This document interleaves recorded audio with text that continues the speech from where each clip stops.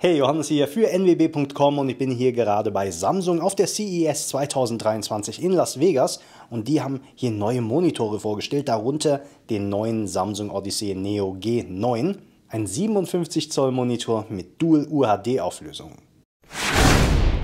Der neue Samsung Odyssey Neo G9 ist der erste Monitor mit einer Dual HD Auflösung, das sind 7680 x 2160 Pixel das bei einem Seitenverhältnis von 32 zu 9 und einer Bildschirmdiagonalen von 57 Zoll.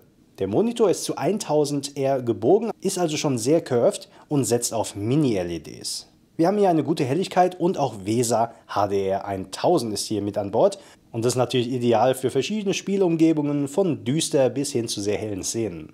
Der Monitor hat auch ein mattes Panel, was natürlich immer sehr schön ist, um störende Lichtreflexionen zu vermeiden, die den Spieler möglicherweise ablenken könnten.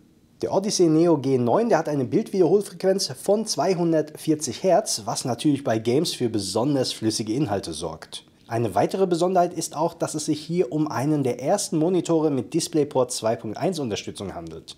Damit werden Daten etwa doppelt so schnell übertragen wie mit DisplayPort 1.4. DisplayPort 2.1 unterstützt auch das nahezu verlustfreie Display Stream Compression DSC, um Informationen ohne Verzerrungen zu übertragen. Wir haben auch hier weiterhin dieses coole Design, was immer noch schlicht ist, aber einfach wirklich richtig top aussieht, hier mit der weißen Rückseite. Ich finde es einfach wirklich sehr, sehr schick. Leider hat Samsung noch keinen Preis und auch noch keine Verfügbarkeit zu dem Monitor genannt. Und das war mein Video vom neuen Samsung Odyssey Neo G9, dem 57 Zoll Dual UHD Monitor hier auf der CES 2023. Vielen Dank fürs Zuschauen.